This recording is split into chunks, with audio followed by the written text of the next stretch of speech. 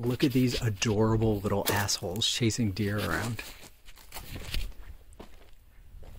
I don't know if you can see them. It's just two puppies. There was an, an adult dog that ran through and scared like 30 deer. And I didn't think much of it, but these little idiots are are running with the pack now.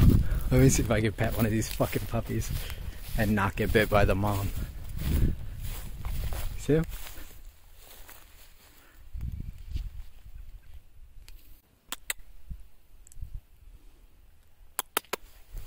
Come here.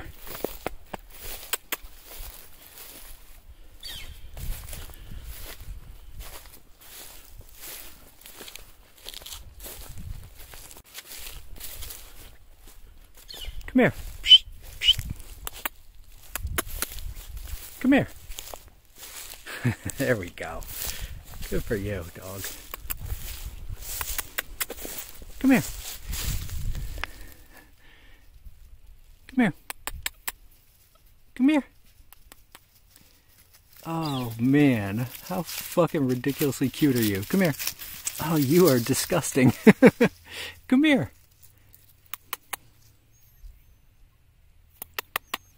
Come here.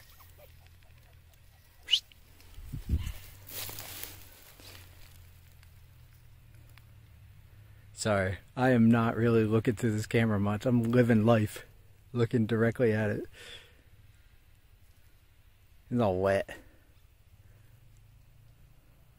Those are going to be some feral fucking asshole dogs when they grow up. They are not getting handled enough. They are just going to be fucking wild dogs. That sucks.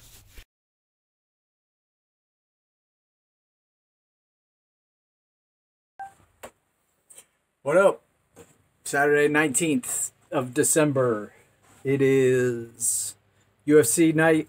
Last one for like a month. Got a couple bets out. And it's 50 degrees and sunny. I'm recharging the battery because it needed it. It was almost dead. I'm gonna have to come up with some kind of generator or something for that. I can't I can't risk it in the winter. You know, I'm using more power than I was in the beginning because now I have tank heaters on and uh, this fucking diesel heater uses up power too when it runs. Not a lot, but like half an amp. But you figure 24 hours a day, that's 12 amps. You know what I mean? And those fucking uh, the tank heaters are I think 20 watts, so that's an amp and a half. So times 24, that's like 40 watt or 40 amps a day.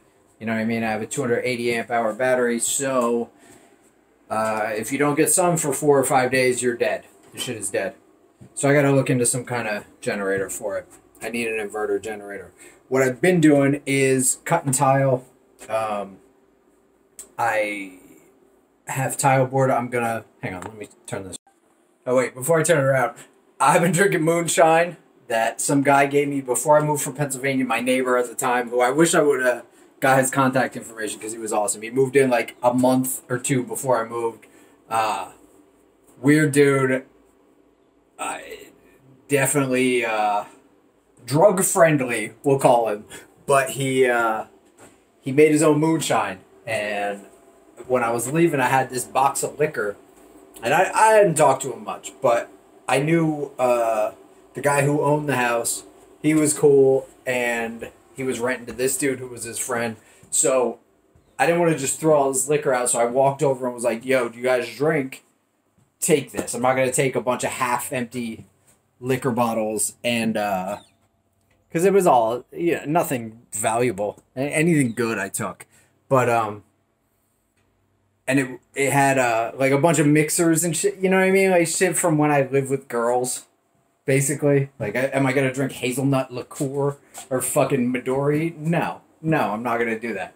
So anyway, I give him this big box with like twelve bottles of liquor in it or whatever, and uh, then the next day he sees me outside. He's like, "Yo, try this. I made this moonshine." And it's like he made it out of apples or fucking uh, like apple cider or something. I took a sip and uh, did everything I could not to throw up in front of the dude. Not good, but I brought it with me because he gave me like a, a one of those ball jars, the quart ball jars, kind of half full, and I was like, all right, man, I'm gonna fucking, I'm gonna take this liquor with me, and I just did, dude. I don't know how powerful or powerful. I don't know uh, like what proof it is, but Jesus Christ, man, I did a few shots of that, and I drank two beers, and I'm dizzy.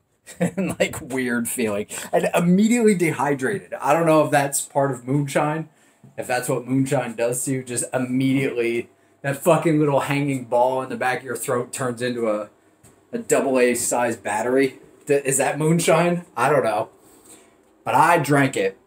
Uh, so yeah, weird day. But okay, so UFC for whatever reason, it must be an early start. Starts at three in the afternoon here. Uh, so trying to get this done. It's maybe 1.30 I'm going to, now I'll turn this shit around.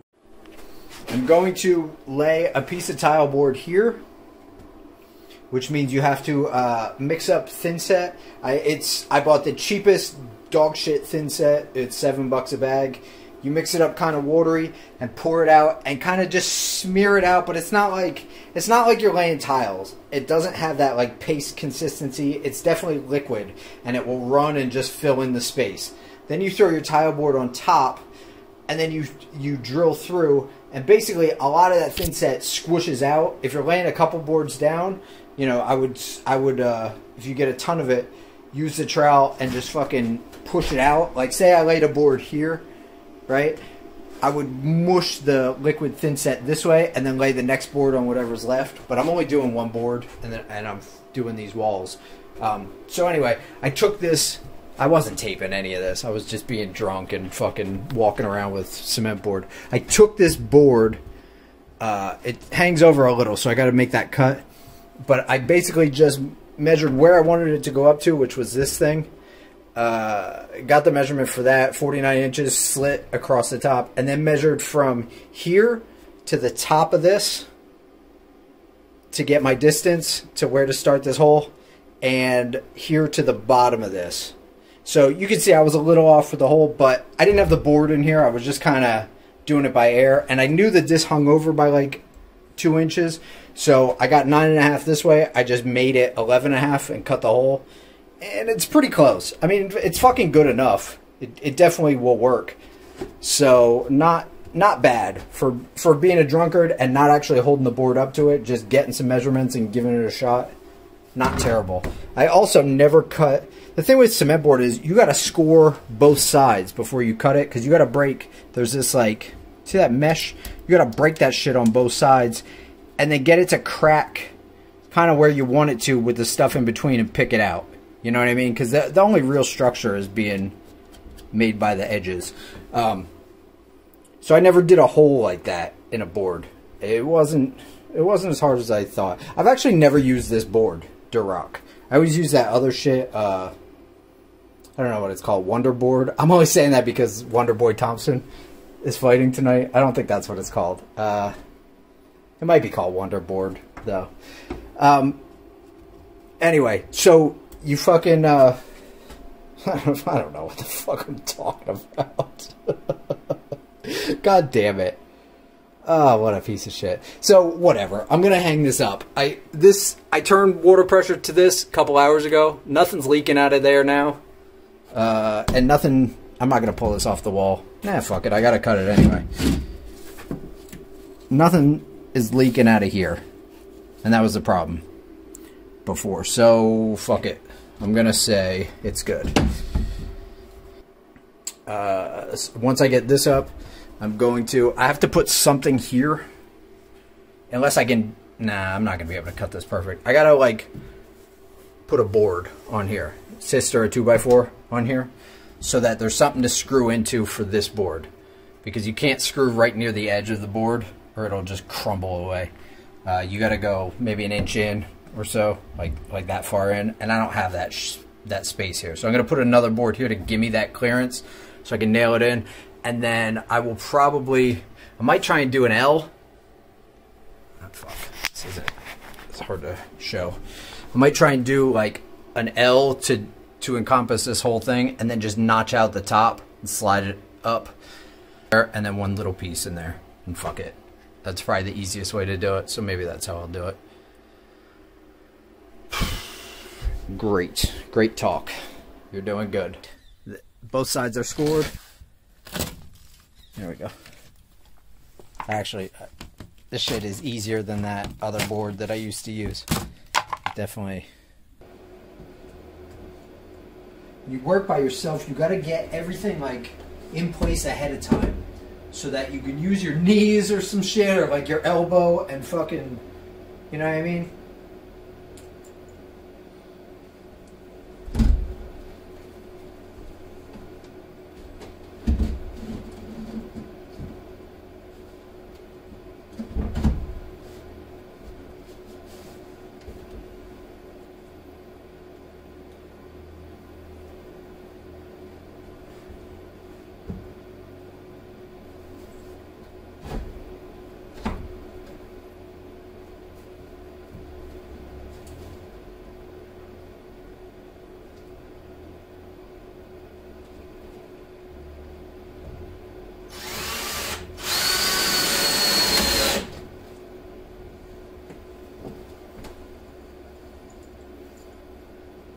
Alright, just that one got it up in place. And then it's just every eight inches you put these fucking screws, man.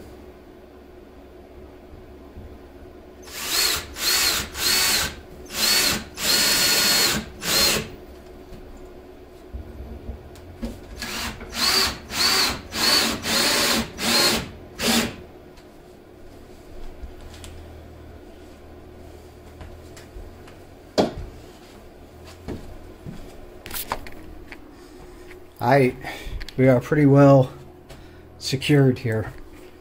I had to fill in all these gaps then with uh, liquid, uh, liquid mortar, and it's like a mesh tape that you put over it. So this should be good. I'm not gonna film the rest of this because I want to actually get something done here. Uh oh. See, this is why you don't get drunk do a bunch of fucking housework. Didn't even think about the length of the screw. That shit popped through. And the only reason I knew was because I was holding on to this with one hand so I could get enough pressure to drive the screw through with the other. So, yeah. That sucks. It's I mean, it's no big deal. I'll make it work, but that's that's just like some drunk boy shit. Oh, and also the screw was like a little stripped around the head and I had to reposition And Before I did, I blew into it and blew whatever metal shavings came off the the uh, hex pattern into my eye.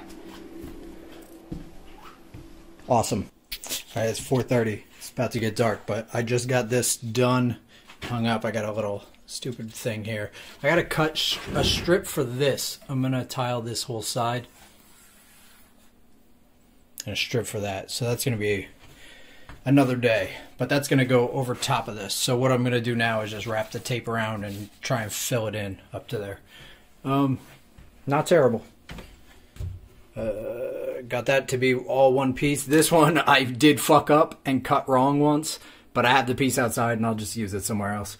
Um, did it like an L here and just fucking over over screwed in that little piece. I got to do all this joint tape. I'm going to lay the one piece that I that I coated with the waterproof right here yet. Uh, once I mix up some mortar, and then I'll do all the joints in here with that mortar. All right, I mixed up some mortar, let it sit for like 15, 20 minutes. Uh, I made it thick, thick and like pasty, like a mousse kind of, because I'm gonna be putting this tape all across this and smearing it in there. So the thicker it is, I'm assuming the better it will stick to these walls. I don't know. Uh, that's that's my thought process on it. And then whatever's left in there, I'm going to pour some water in and some more and make it real watery, and then lay a piece down here tonight yet.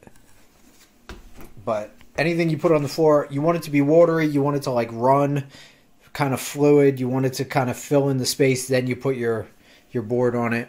Anything on a wall, you want it to be thick or that shit's going to fall off. But when you make it thick like this, it's not very wet.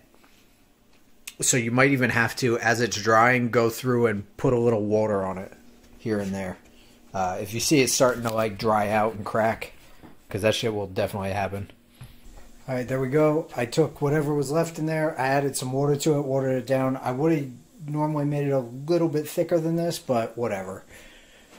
Uh, I am going to throw that one piece on here, stomp, well not stomp, but like step heavy on the whole thing, make sure it's in place where I want it, and then start screwing these things in.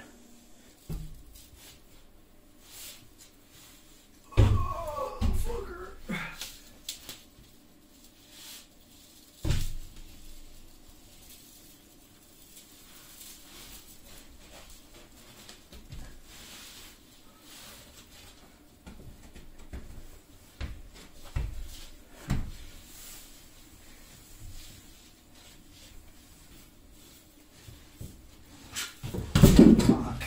All right.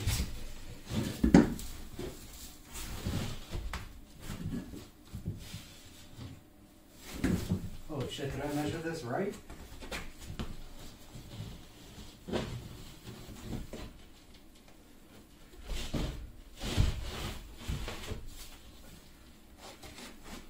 What? Perfect. That's great.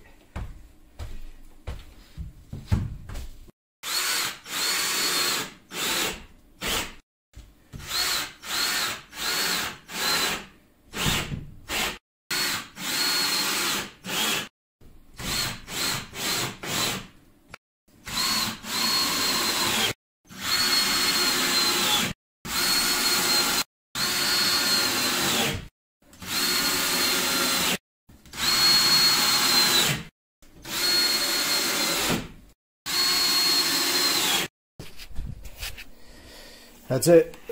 Took 12 minutes. Uh, anywhere where the the stuff bubbled up, just smear it flat. You know, uh, these spots where I drilled through on the on the rubber when I have to coat this thing because I have to paint this entire inside with that rubber. I'll fill in those screw holes there. And that's it, man. I'm gonna call it for today.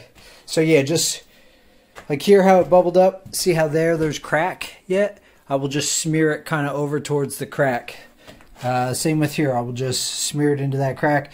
And then anything that went over, you can, if it's thick, you can let it dry thick and then hit it with a chisel and break it off before you put in your next piece.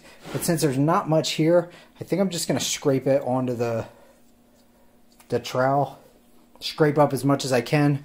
Push the rest of it into one pile to dry up and then just chip that off. Because it's kind of a pain in the ass to chip the shit off the next day, but it does work.